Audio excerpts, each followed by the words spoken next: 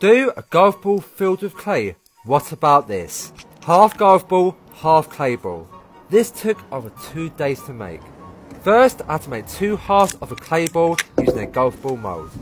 Then I had to use Gorilla Glue to stick together both halves of the clay ball and the real golf ball. Can I beat my dad? Dad's first shot is played it safe down the left side. My tee shot and whoa, that explosion was crazy and that is lost in the jungle. Luckily, we have the other half of the golf ball so I made a spare.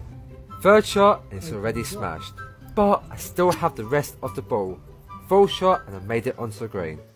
Dad's birdie shot and he's left that short. It's going to be a long par putt. There's no point me using a putter. Just watch me struggle with a wedge. This for triple bogey? Nope, that's a 7. But can he make the par? And what a putt with his new putter. Guys, got a new par. That's a new par.